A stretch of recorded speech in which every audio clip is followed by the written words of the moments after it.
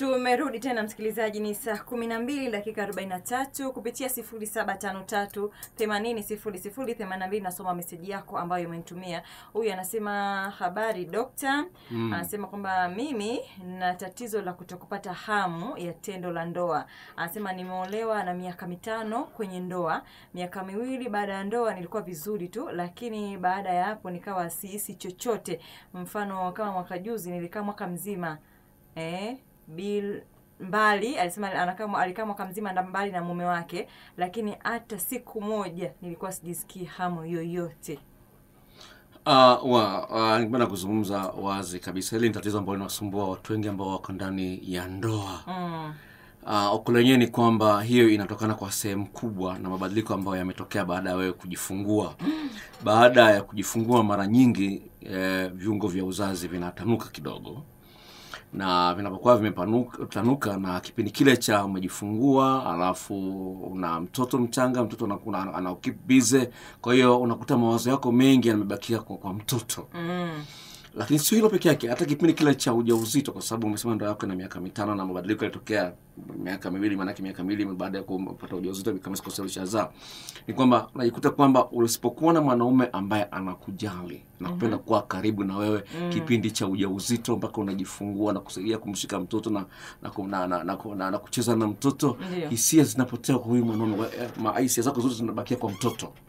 Sasa hiyo ni hali ambayo wanawake inapaswa ku- kuliangalia, lakini lingine ambalo lipo ni kwamba kipindi kile umejifungua unatakiwa upumzike wiki sita, usishirikiane tendo la ndoa. Sasa kuna watu ambao kutokana na kuto kufahamu wanaweza kupita hata miezi mitatu au minne hawajafanya tendo la ndoa, kwa sababu kuna mtoto mchanga, kitu ambacho sio sahihi. Ah.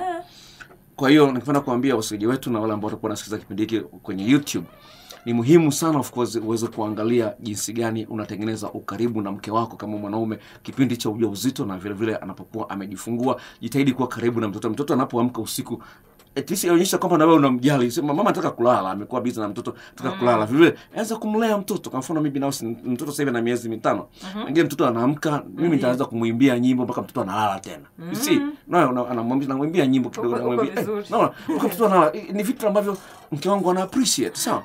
Lakini cha msingi ni kwamba eh, lingine ambalo lipo na asilimia kubwa ya wanaume hawana desturi au tabia au kanuni ya kumwandaa mwanamke kabla ya kumwingilia.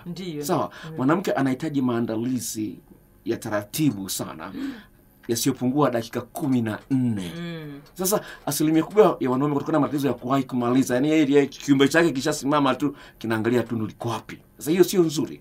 ilo Hilo la kwanza, lakini lingine ambalo lipo. Mwanamke anapasa aandaliwe kisaikolojia hata kabla ya, ya ngoma ya kubwa. Jinsi gani unaongea na mke wako, na mjali na mke, wa, mm. mke wako sawa. Ni, Kauli, ni, maana eh, kauli eh, kauli exact. Nashukuru. Unaona jinsi gani unaongea na mke wako. Kwa mfano eh, nilikuwa naongea na mke wangu jana sawa, akasema unajua watu tushangaa tunavyoishi. Eh. Alikuwa amenipigia simu akaniita mpenzi, na mimi nikambusu kwenye simu. Eh. -huh. mpaka nashangaa sio na mchepuko au nini? isi ni vitu vidogo lakini vinaleta hisia kwa mwanamke. Yani unafanya mapenzi na mwanamke anakumbuka vitu vingi.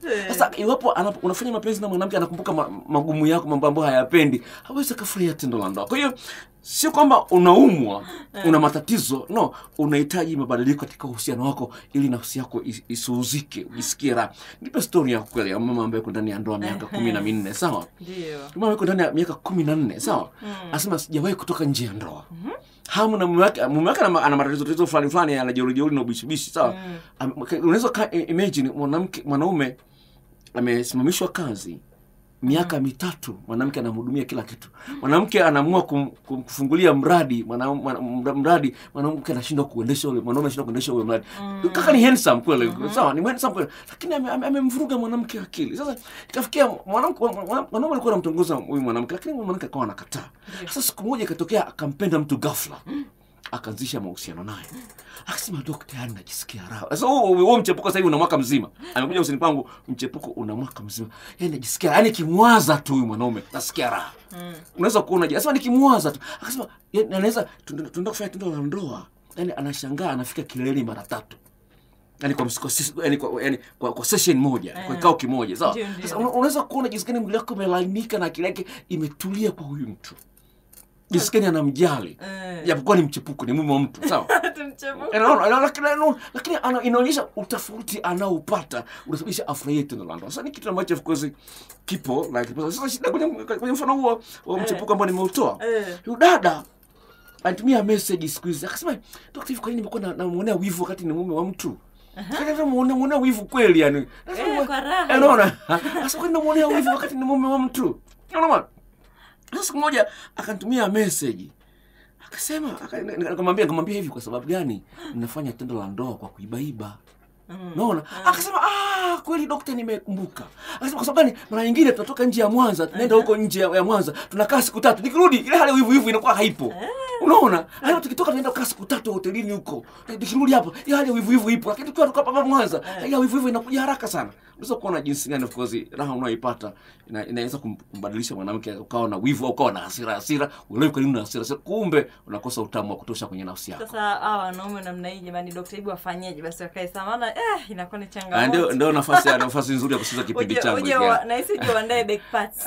eh, unga kijali huyu eh. Huyu anasema dokta, Mm. eti wewe huu msemo unauchukuliaje? Maana watu wengi wanatumia sana kwamba eti mtu ukimpenda sana anakusumbua. Mm. Anasema hivi ni kweli, alafu au anakuwa analinga. Huu msemo unauchukuliaje? Okay, sikiliza uh, us, usemi huo hauna ukweli kabisa na watu wengi wanauamini Mm, sawa yeah. watu wengi wanaamini kwamba ni kweli mm -hmm. sikiliza pale ambapo unajijua wewe mwenyewe kwamba mimi kweli najijua na thamani nastahili kupendwa nikipata mtu ambaye nitampata nitampenda vya kutosha Mm, mpe mtu huyu mapenzi yako yote ndiyo ndiyo. sasa yeye akiamua kukuumiza kwa sababu nampenda sana Eh. yeye maanake ni chaguo sio sahihi Kabisa. manake hata kama una, u, anakuacha kuwa mkali unapoona una mtu unampa mtu mapenzi yako yote alafu aku- yeye akuonyeshi mapenzi kuwa mkali kwa nini mtu anakutumia tu sawa? Kuwa mkali. Sasa sasa hata kama anakuacha utaumia kwa sababu gani? Yani